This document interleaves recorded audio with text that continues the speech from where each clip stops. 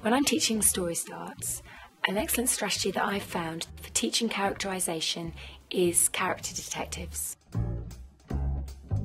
Sometimes children struggle to formulate ideas for what a character should be, and they find it very difficult to come away from friends, family, and their own experiences. So, using the character cases gives them a stimulus, gives them a visual stimulus to start. Now, inside my case, I have lots of clues as to who my character might be today, but I need your help. Character detective lesson starts with me modelling how I would like the children to explore the cases as detectives.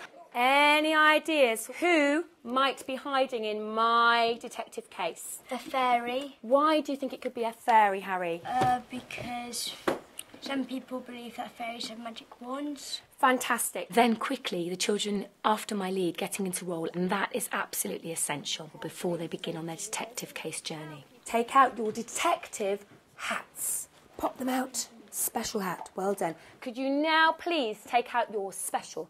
Just give it a polish because we haven't used it for a little while. And pop your monocle into your eye. Detectives, are you ready? Yes, Detective Savile. Off you go. Each table would have a case, and that can be a shoebox, it can be any kind of box that you can find. And inside that case, I like to put lots of little artifacts, little things they can look at. So there might be pictures for a visual stimulus, it could be thought bubbles to get them thinking about what the character might think, heart bubbles for them to, uh, to think, explore the character's feelings. Sometimes I like to put in words to stimulate ideas, maybe the odd simile if that's what I'm focusing on in my lesson. Dear people of Earth, I love pollution. Rivers should run green with poisonous liquids, and the earth should be covered with rubbish. Let me rule you, P. P. Mr. Pollution? It could be PS. Within the boxes, I tried to put different kinds of characters so the children are excited when they share at the end of the lesson which characters they've created. And there is a sheet that I would like them to work on, a detective sheet, where they can analyse the character, giving them prompts. I think it's like a man on the phone losing lo- using loads of electricity and it's wasting stuff. The discussion that the children generate is absolutely key to this character case working. It's the discussion that generates the ideas. We've got, I'm gonna, I have a plan to save the world for my next adventure, but what do you think adventure's gonna be about? Recycling to um, stop the pollution. So what will the potions do?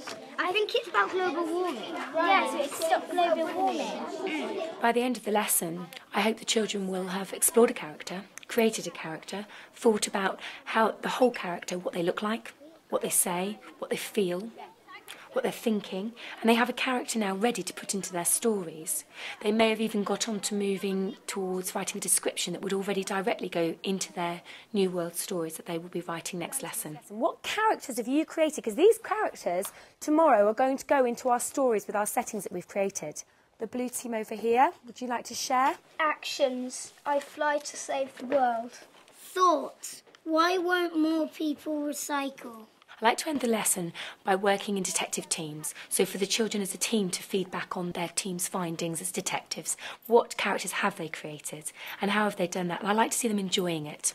Others might say, well, why should we? Can you tell me the name of the person that you think is in your box, Detective Blue Team? Recycle superhero. You think it's a recycled superhero. Thank you very much. They're problem solving, which makes it incredibly exciting and gives them a purpose for writing. And it takes them out of their everyday role. They're becoming important detectives and they have a job to do.